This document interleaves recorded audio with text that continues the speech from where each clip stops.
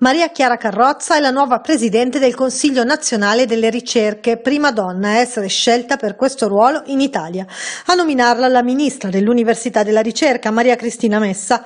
Con questa nomina il CNR torna a essere nel pieno delle sue funzioni organizzative, gestionali, oltre che scientifiche.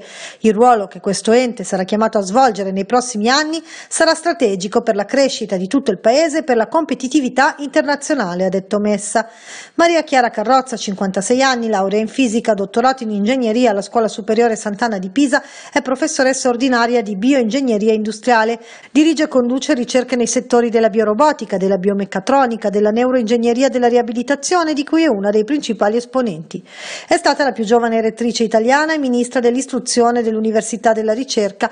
Essere la prima donna alla guida del più importante grande centro di ricerca del Paese è una sfida e una responsabilità senza precedenti, ha commentato, ma anche un cambio di passo e di prospettiva.